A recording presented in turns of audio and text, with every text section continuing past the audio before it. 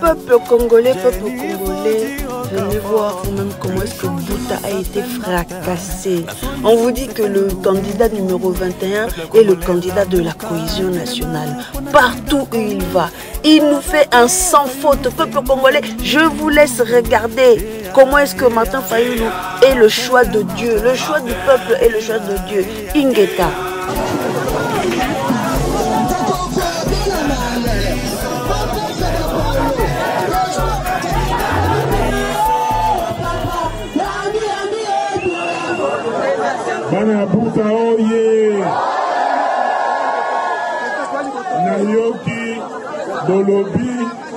Yaka kozwa kiti na yo,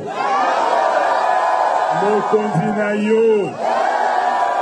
Tovotaki yo na 2018, olingi ozongela ebonga na yo, eza boye te. Tovotaki nani? Sikoyo bokovote nani?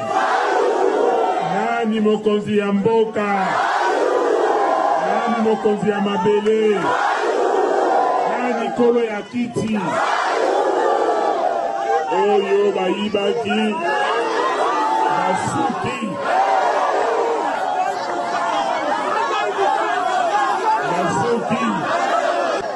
oyo tomonaka nde tozoloba na mboka na biso toza na mai te ezaka koloba mao eh, 145 territoire ezobanda tomonaka eloko soki yo ozalaka président depuis 2018 mais changement ekoti de la province na biso ya pazongo profe to tokovote tokolemba te Martin Fayulu, numéro 21, notre président.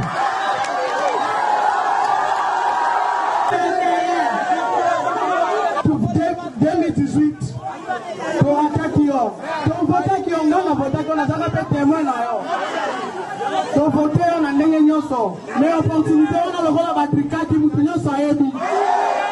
Pour oyo ozaka numéro 4 okomi numéro 21. Toko voter yo na ko. Basala basala nyonso Nzambe azali toko voter kaka yo.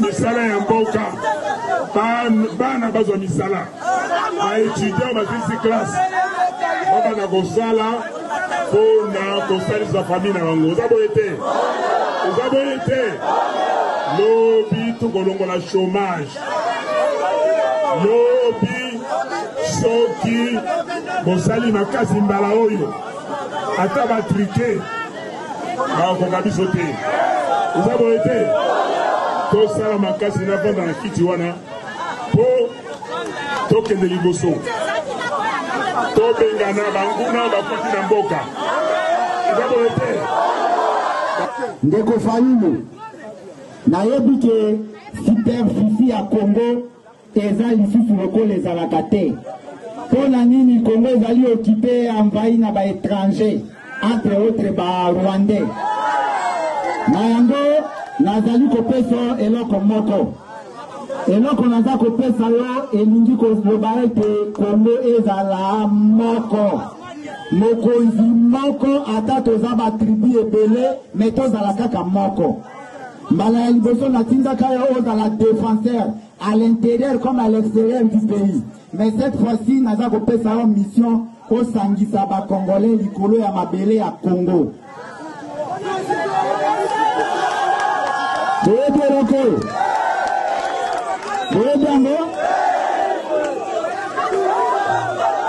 Baza ebele na kati me bazaka ndako.